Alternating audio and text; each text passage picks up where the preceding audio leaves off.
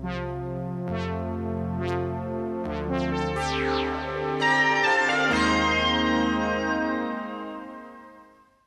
привет, дорогие друзья! На дворе май 23 года. Отличная погода. Мы в Ульяновской области, в рабочем поселке Сурская. С момента выхода последнего видео про Левин прошел практически год. За это время изменилось достаточно многое. Были установлены тормоза, суппорт колдиновский, а диск чуть поменьше именно от э, селики, потому что для легковесной машины именно такие тормоза подходят. Они не слишком тяжелые, но их энергоемкости достаточно для того, чтобы отормаживаться в поворотах. Как видите, появились наклеечки Turbo Racing Cup. Это значит, что позади уже как минимум один этап чемпионата Time Attack Turbo Racing Cup. Неважно, на сантиметр впереди или на километр. Точно, Победа точно, есть неважно. победа.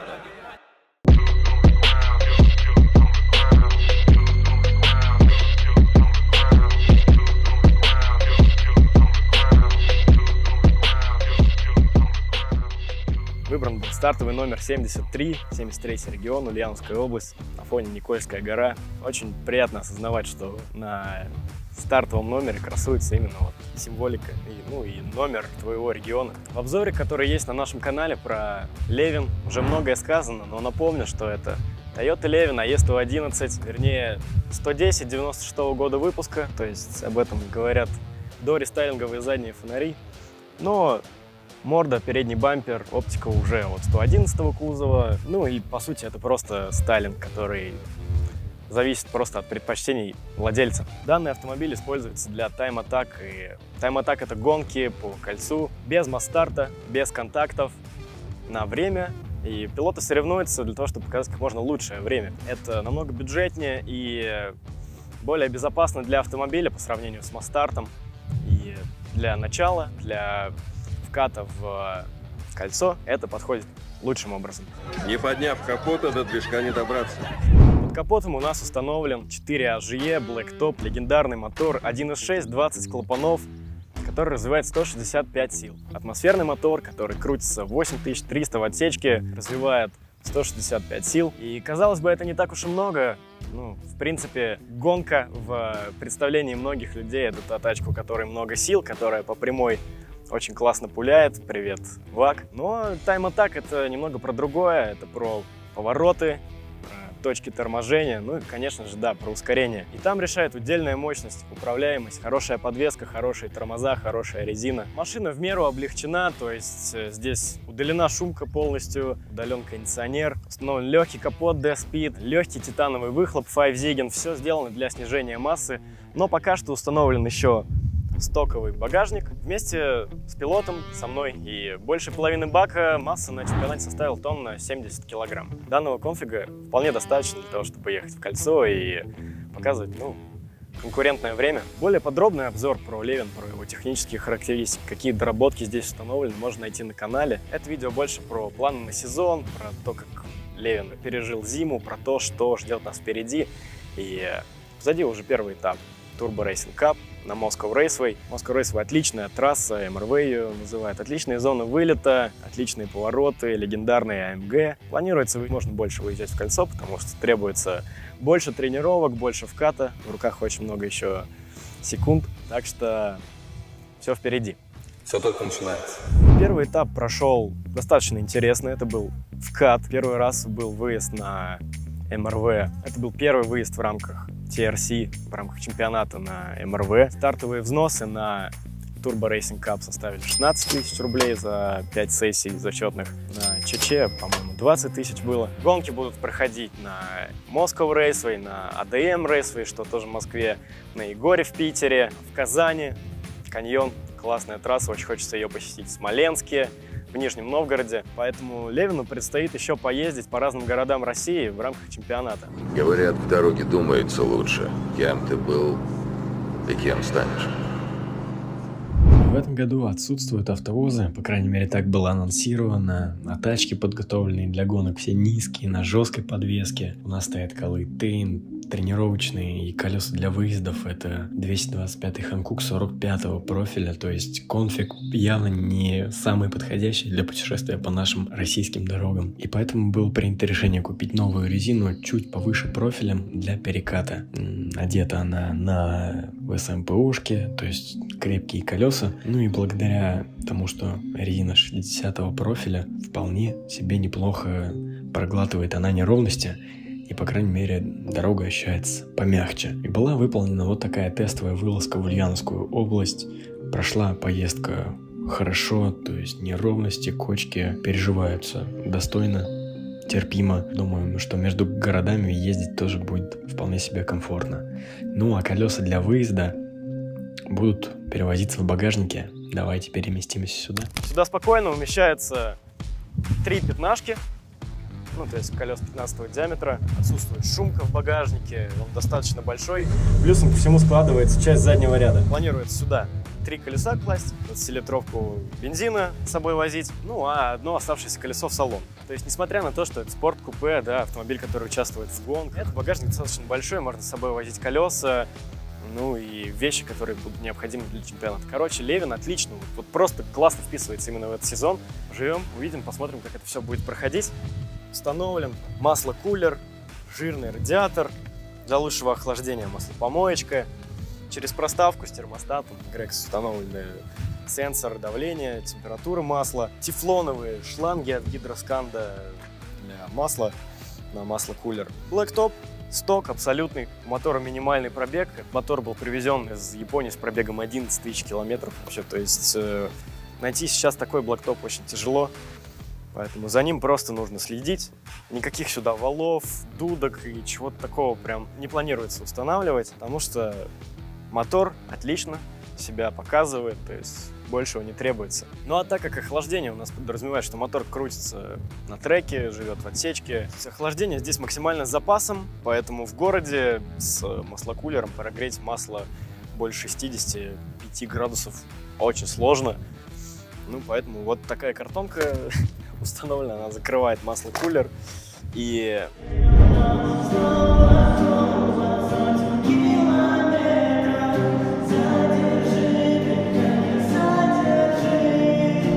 вот в таком раскладе по маслу мотор не греется выше 80-90 в пробках в городе, что вполне себе отлично. То есть, если у вас масло-кулер, то следите за тем, чтобы масло у вас прогревалось, и многие просто накрывают картонкой масло-кулер, да, такой около колхозный тюнинг, но, по крайней мере, это позволяет выезжать на трек, скидываешь картонку, а по городу ты ездишь, не переживая за то, что у тебя масло холодное достаточно хорошо смазывает.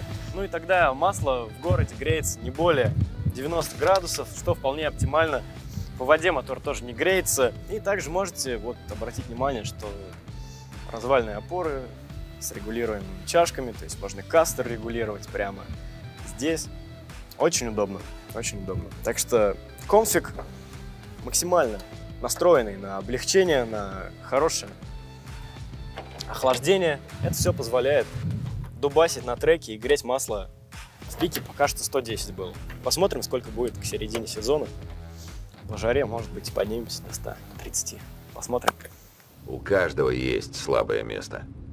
Ну и так как автомобиль строился по идеологии именно вот легкого автомобиля, у которого не такая большая мощность, но очень хорошие показатели удельной мощности, каждый килограмм очень весом, поэтому на следующий этап планируется выезжать с пластиковой крышкой багажника, которая весит 3,5 килограмма.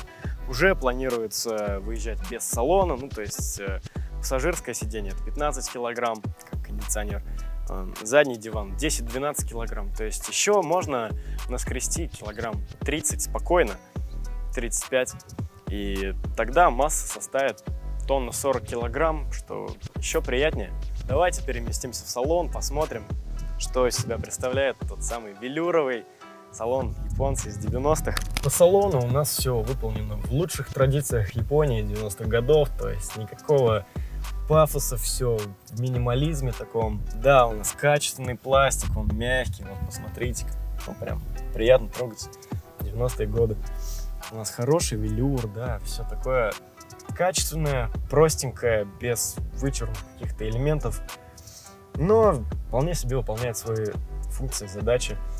Но дополнительно установлены датчики давления, температуры масла, штек. Установлен ковш Bright, легкий, в поворотах он прям очень хорошо держит. То есть Орига, оригинальные салазки, все, все для кольца, все необходимое. Тоже оригинальные ремни, конечно, они уже с просроченной амалогацией, но свою задачу выполняют отлично. Для любительских чемпионатов подходит, пропускают. Вот эти вот пластиковые элементы приборной панели в синий окрашенные. Таким он приехал с Японии. Ну, кто-то скажет колхоз. Мне поначалу тоже не очень это все нравилось, но сейчас привык. По-хорошему их, конечно, в черный покрасить просто для такого минимализма. Сейчас они бросаются в глаза, но вполне себе прикольно. У нас еще в салон выведено принудительное включение вентилятора. Можно услышать, вот он по кнопке включается. То есть прежде чем дубасить, включаешь вентилятор, дополнительное охлаждение, все все здесь практично настроено именно вот на показания хороших результатов. Задний ряд э, какой-никакой, но он есть. Сюда можно положить вещи. То есть места для маленькой девочки вполне предостаточно. Но, конечно, он эксплуатируется, как правило, просто для того, чтобы туда положить вещи. Ну а велюр очень приятный на ощупь. Ну и не перетертый, то есть по сей день он в хорошем состоянии, так что хороший японский салон, но без каких-то понтов. Все очень просто и со вкусом. Я из тех, кто может оценить красивые формы в любой модели.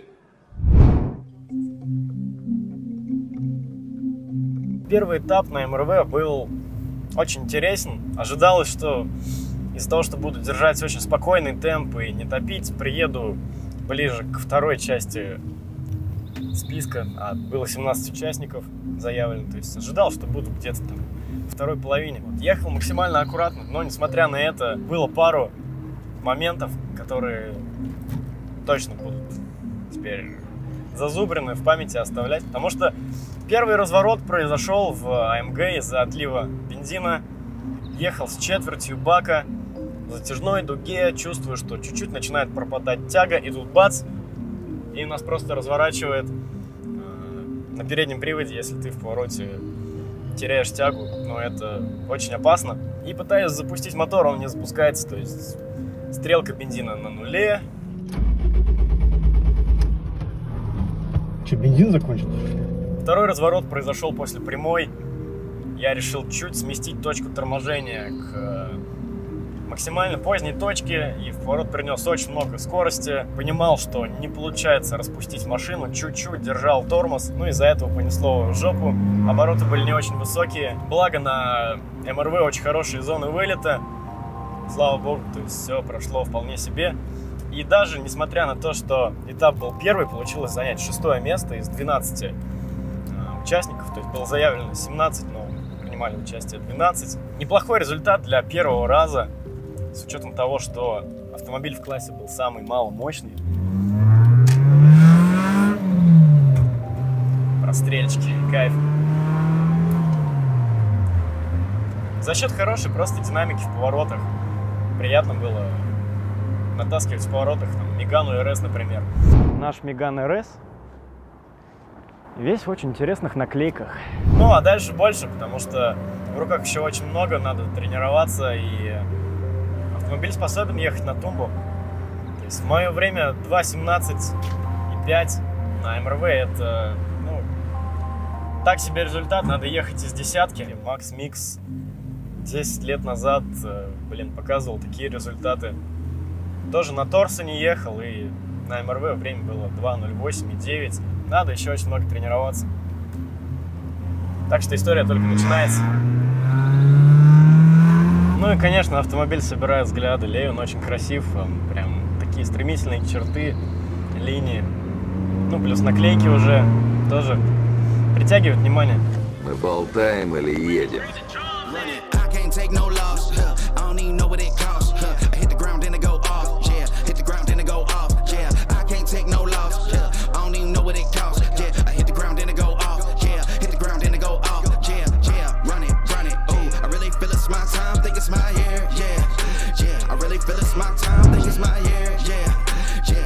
Feel it's my time, think it's my year, yeah, yeah. I really feel it's my time, think it's my. Yeah. 10 секунд, пока мы мчимся, я свободен. Мечта об автоспорте, дух автомобиля – это то, что живет во многих из нас. И, возможно, мы уже последнее поколение, которое имеет возможность прикоснуться к таким автомобилям, которые позволяют еще ехать в кольцо. Да, то есть Левин 96 -го года, ему уже больше 20 лет, и их остается все меньше и меньше. Благо, мы еще застали то время, когда эти кузовы живы, эти моторы еще крутятся и не жрут масло, кстати, вот, ну, ну прям вообще мало ест. Ну и благо сейчас существуют любительские чемпионаты, которые позволяют ехать по треку, ощущать вот этот дух гонок и развиваться. Ведь действительно можно в рамках чемпионата вырасти, приехать на тумбу и дальше двигаться к новым победам. Так что подписывайтесь на канал, ставьте лайки. До новых встреч, дорогие друзья. Ну а еще подписывайтесь на Телеграм, на группу ВКонтакте. В Телеграм мы выкладываем прям шок-контент. ВКонтакте мы дублируем информацию, выкладываем шок-фоточки. Так что не забывайте об этом. Ну и колокольчик там, комментарий, все такое. Друзья, давайте, до связи.